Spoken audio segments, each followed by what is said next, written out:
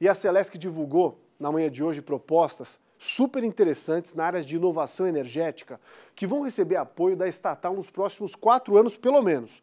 O investimento, pelo que o Paulo me contou, chega a quase 100 milhões. Pesquisa, desenvolvimento, eficiência energética, exigências da agência reguladora do setor no Brasil. Vamos ver.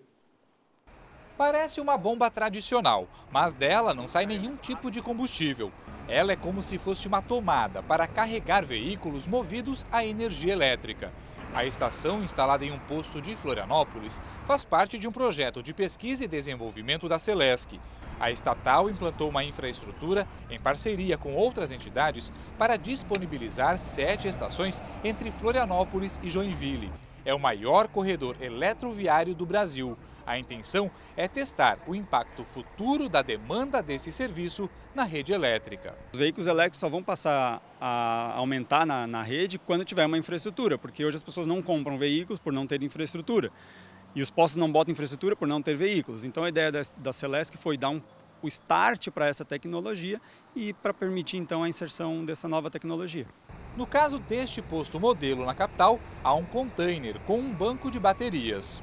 O papel das baterias nesse sistema é justamente trazer um alívio para a rede na hora de um carregamento simultâneo, de um carregamento rápido.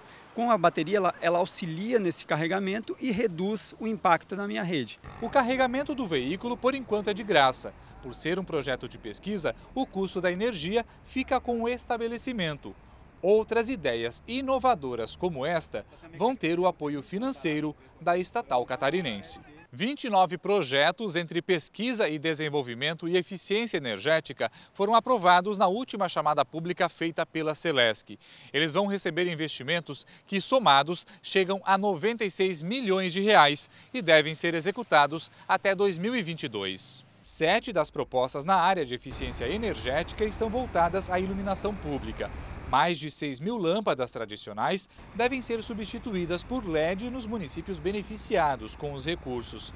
Outra iniciativa é a criação do maior aerogerador do mundo com tecnologia produzida no Brasil, além da instalação de um sistema para gerar energia a partir da luz solar em um hospital do norte do estado. Estamos fazendo lá como um projeto piloto, né, um sistema de é, geração fotovoltaica que pode diminuir em cerca de 25 a 30% o custo da energia é, local é, desse, desse hospital e isso naturalmente pode ser replicado, né, se dando certo, para outras outras, eh, para outros hospitais no estado como um todo. Universidades, prefeituras, empresas e entidades com projetos aprovados pela Celesc receberam os certificados para colocar em prática as ideias inovadoras de redução do consumo e uso racional de energia elétrica até 2022.